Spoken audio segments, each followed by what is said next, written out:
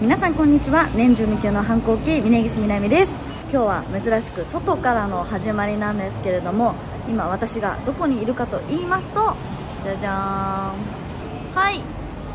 高島平駅に来ております。ということで、まあ、地元に来てるというわけなんですけれどもいろいろ訳あってのんびりして1泊過ごそうかなと思うのでその様子をぜひご覧ください。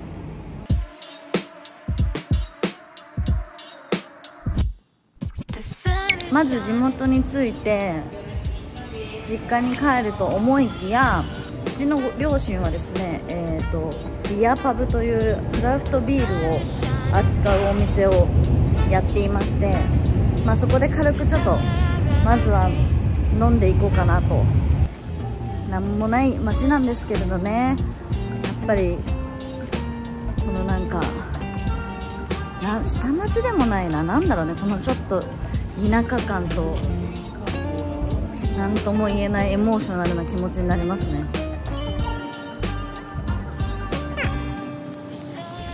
着きました。ビアパブキリキリス。すでにお客さん中にちょっといるみたいなんですけど。ただいま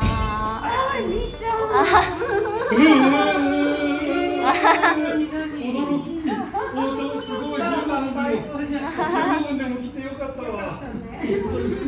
こう今お店入ってきた時にちょっとざわざわっとしたと思うんですけどなんと昔からのファンの方がもうすでに来てくれていました。こんにちは。こんにちは。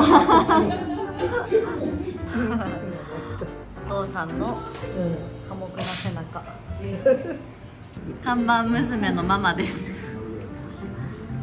かわいいえー、じゃあなんかビールちょっとあんまり普段ビールを全然飲まないんですけどここの飲みやすいものなら飲めるということでいただきたいと思います。そして昔からのファンの方も来てくれてるということで乾杯。おお乾杯乾杯。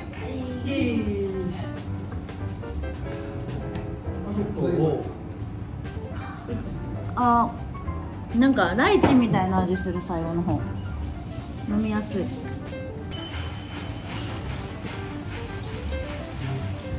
今日はなんかそもそもなんで高島平で撮ろうかなって思ったかと言いますと今日はもともと来る予定だったんですよ。でもなんかその今日来てちょっとこう飲んでるとこ撮ったらそのまま今土曜日なのであの岡崎に行こうかなって思ってたんですけどここに来る途中であのー、ま、てっちゃんと連絡を取っていてで明日何するの？みたいな話になった時に明日めちゃくちゃなんかやることがいっぱいで一日中忙しいみたいな話をされてそうかでもそれはもうね本当誰も悪くなくてかなり忙しいのも知ってるのでしょうがないなと思いつつただ私月曜日の夕方にあの仕事が入っているので東京で。この撮影が終わって終電で岡崎に行っててっちゃんが一日忙しい中日曜日なんとかまあ一緒に過ごしてでも月曜日またこっちに帰ってくるっていうのがちょっとハードスケジュールだし寂しいなと思ったので今日は割り切ってこの地元でこの後地元の友達に会えたら会ったりとか実家に久しぶりに泊まるのかな泊まるの本当に久しぶりなんですけどとかして、まあ、充実した日を過ごしてそれをなんか動画に収めたらなんか会えなかったなっていう寂しさも払拭できるかなと思って今日はなので、まあ、哲也君がいなくても楽しいぞっていう地元動画になったらいいなと思います。本当にてっちゃんのせいでもないし怒ったりとかもしてないんですけどただそのなんだろうな行って自分が不機嫌になっちゃったりとかするのを避けたいっていうそんな自分の成長記録でもあるので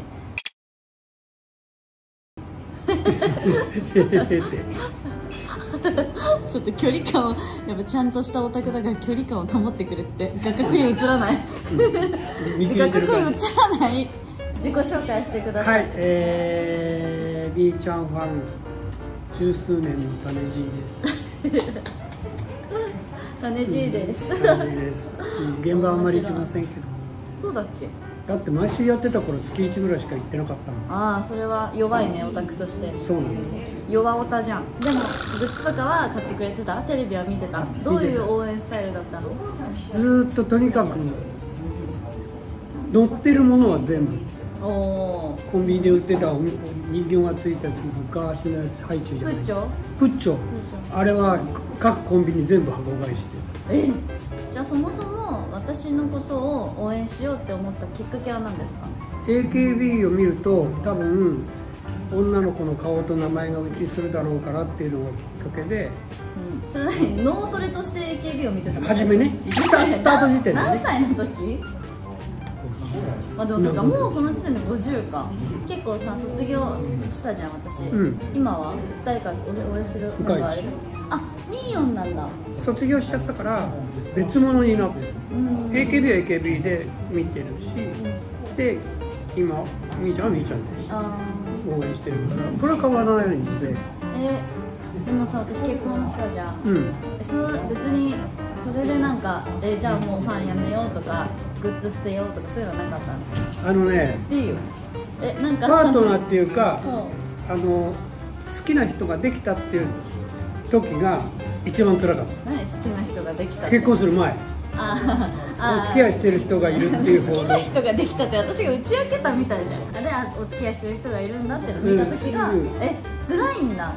俺はねその時はね、い。やガチ恋じゃないから。ガチ恋じゃないのにそう。チクンとは来るの？俺はそうなると思ってなかった。ええ絶対祝福できると思ってたんだけど1週間落ち込んで。ああかわいそう。でいやでなんとか立ち直って、でいざあの結婚式の式じゃないけど写真が出て結婚式しましたっていう時はもうめちゃめちゃ。あそこでもう切り替わった。のその前に切り替えてたつもりなんだけどだから自分でもそのお付き合いしている人がいますって聞いた時にそうなると思ってなかったから自分でもびっくりした。純粋に応援してたつもりだけど意外と胸がチクンとなったんだそう付き合いの時だけお付き合いの時だけえー、そうなんでだ。だ今今言った通りもうめちゃめちゃ応援してるから。ねありがとう結婚式の時結婚したって時はもうやったーって素敵なファンの方です。そういうことです。なんだかわかんないけどいつもベロベロだからこんなまともに喋れるタイミングで今日会えてよかった。いつもベロベロ本当何言ってるかわかんないから。それはあの申し訳ないと思ってます。今日でまともにおしゃべりできるあまだそんなにありがとうね。これからもじゃあよろしくお願いします。しくお願いします。ありがとう。乾杯。乾杯。私がお店にいると聞いておばあちゃんが駆けつけてくれました。こんにちは会いたかったね。会いたかった。会いたかったわうねん、久しぶりだし、うん。この暑さでね、うん。どうしてるかとっても心配してたけど、うん。まあ、元気にテレビにも見られたし、昨日も頑張って見たし。おばあちゃん3時まで起きて藤子見てるもんね。そうなのありがとう。うん。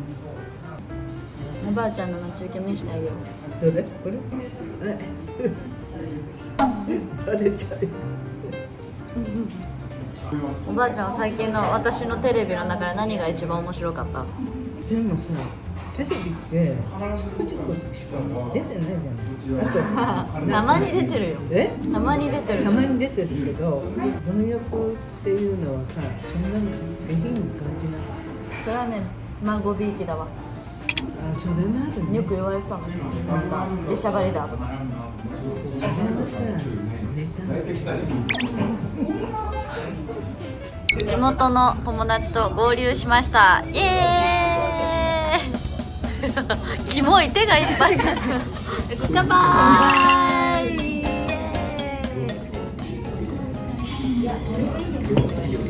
すっぺえなんだかんださこういう飲みはさなくない？ほぼカラオケとかはさな7年前ぐらいに行ったあるよ動画嘘。超南の娘えまだあるの？あるある。嘘。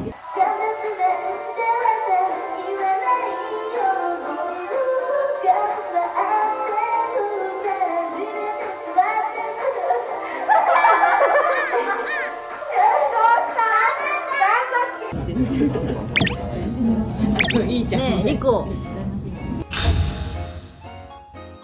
顔やばかった。思ったより変な顔してた。言おうと思ったんだよリコ。リコさんおめでとうおめでとうありがとういつ5月えっと5月5月あうちら引っ越し手伝ってもらってる時とかで会ってんだ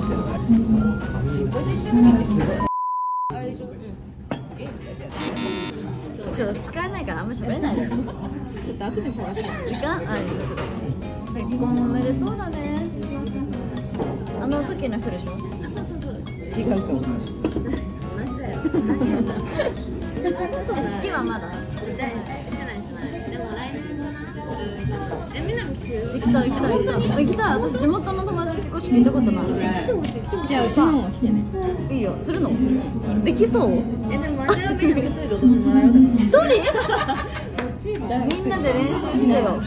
何の歌がいい何の歌がいいえっとねオイルダンスなら踊れるきついきつい怖いって。怖いって。誰がわかるんだようちうちらは3人踊れる燃えるない祭り全然参加せないそんなに難しくないのは恋チュンかも何それこいちゅう恋すあおにぎりあいけるいいわえいいじゃん二人は隣でこうやって。対戦それだけ急走ってきて急に。に。ゃんこスターずーっとこうやってて絶対嫌だで南に。真ん中で歌ったポイントに。してなんか青春だなこれがうんあんまやったことないこういうのいやみなみ結構うちらでやってたじまあやってたよでもそれさに。何年に。1回よじゃあ5000円しかなかったなんか小銭えいいよいいよあるあるある後で払うえー、みなみだってさあれあったじゃん。何？余計なこと言わないでよ。あリコちゃんのさくるぶし焦げたよね。うち顔に当たった。焦げた。えあれ何だったっけねあやばい顔落ちたリコ。大丈夫。え何だったっけ？マックでソフトクリームを買いました。やんちゃイエーイそれ使うのこれ。使います。はあついて夜マックぱみんなにはこのガチガチ地元というかエモみをね感じていただきたいので。舞台私お母さんと見に行って南。ああとあ奥になる？一生覚えない。え小池徹平よかったよね。ルッキーほらあよかった。ルッキーが好き奥に奥にリクは奥に飲んでるえでもさ一切よくなかった？一切さんすいません。本当にすいません。ただの地元の人なんですいません。リサさんてっぺいさんすいません。リアルをお届けしました。バイバイ。バイバイ。おやすみありがとう。また遊ぼう。じゃあね。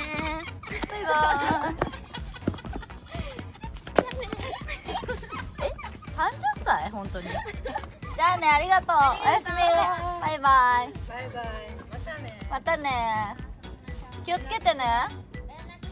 はーいバイバイ